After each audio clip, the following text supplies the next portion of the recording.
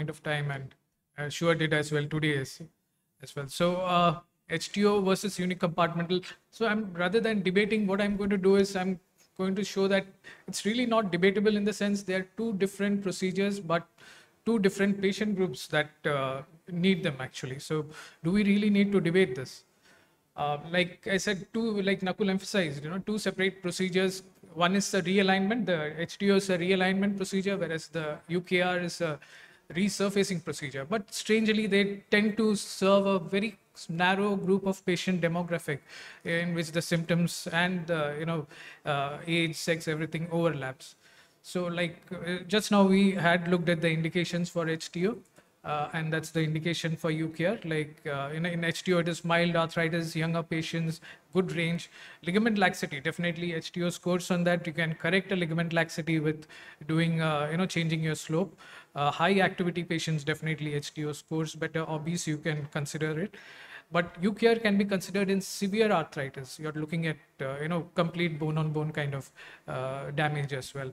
And even in the elderly age group, HTO is a better option. Intact ACL is a must. Low demand patients, again, you know, uh, that's a, a kind of drawback for the UKR. So it is this group in between, if I can, yes.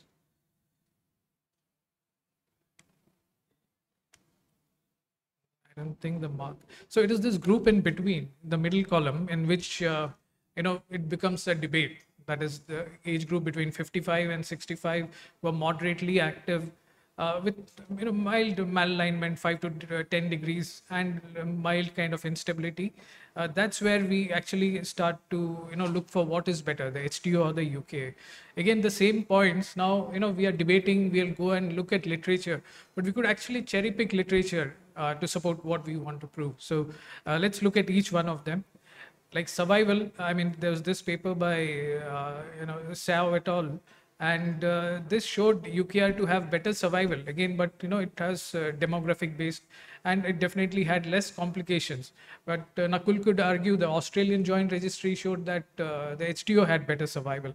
So, and this being a meta-analysis, so you know it took in all the kinds of different types of HTOs, the closing wedge, opening wedge, uh, fixed uh, mobile bearing units. So it looked into all that and it uh, showed that the UKR, the current designs are definitely lasting longer. On rehab front again, this paper by Santoso et al. Uh, care, of course, I mean, you can mobilize them on day one. They can get back to walking. It is much quicker than a total knee and uh, there was lesser requirement of supervised physio as in a total knee but uh, these patients got back to their activity of daily living much quicker than a patient who underwent hto function wise again this particular paper in the american journal of uh, sports medicine uh, sorry rehab medicine had shown that ukr uh, patients had better function again highly demography dependent but i would agree to concede to Nakul's point that hto had better range of movement complications, higher complication rate in HTO uh, in this uh, particular paper published by uh, in the Indian Journal of Orthopedics. Uh, there is a higher, you know, rate of complications that was noted.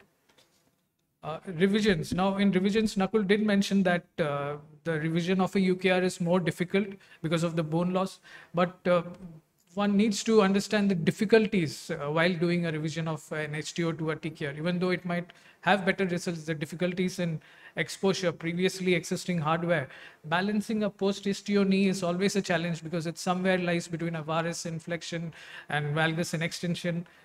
Getting a stem in, if you need a stem in HTO, it is going to be a very difficult scenario because of the change in alignment of the tibial uh, canal. So uh, those those are the challenges you would face while doing an HTO. But if you get it, of course, uh, the HTO it is proven that HTO conversion to TKR is better. Nakul had uh, shown this paper uh, about the lost art. You know, the last decade or so, the usage of HTO going less. But at the same time, it also mentioned that the usage of unicompartmental has gone up. So, I mean, there's no actual reason behind this, but definitely there might be people thinking as to looking at the function and you know how uh, the unicompartmental is giving better results and, and you know quicker rehabilitation. Uh, for to understand this, we also need to understand the difference between a young arthritic knee and an elderly arthritic knee.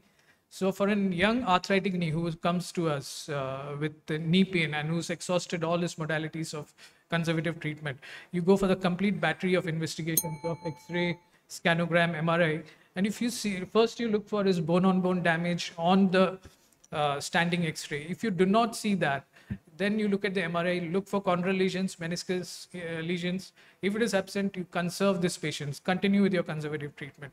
If you see a chondral lesion or a meniscus lesion, look at the scanogram. If there is a deformity, then you give them an arthroscopic plus an HTO. And if there's no deformity, just an arthroscopy. Now, if there is bone on bone, then look at their lab markers or history. And if you have an inflammatory pathology, then this patient, young patient, whatever age, he needs a total knee if the patient, if the inflammatory markers are negative, RA factors is negative, then you look uh, at the ACL status. And if the ACL status is not intact, again, this patient gets a TKR. But if the ACL, ACL status is intact in a young patient with negative uh, inflammatory markers, and then you look at their activity levels. If the activity levels are high, offer them an HTO, low, you go for a unicompartmental. So that is the protocol we follow generally. Uh, so in a so in a nutshell, young arthritic patient, high demand patients, it's always going to be an HTO. Low demand patients, it is always better to consider a unicompartmental knee. And uh, just to debate that small uh, uh patient demographic in which these indications tend to overlap, it's very small. But unfortunately, I mean, I've been through literature. There's not one study that has proven. I mean, you have this uh, you know, radically different papers which say one is better, other is, uh, you know, not good enough from, you know, arguing from both the sides. But uh, when you look at the meta-analysis, nobody has come out with a clear consensus as which, so you could pick and choose what you want to do in these patients and where the indications overlap. So uh, two greats, or in today's world, we call them GOATs. I mean, Federer in tennis and Messi in um, football. But can we compare the two? No, I mean, they're excellent in their own field, so we cannot compare the two of them. Similarly, I think these two procedures, they have their own indications, and in the correct patient, that particular procedure would work well for them. Thank you.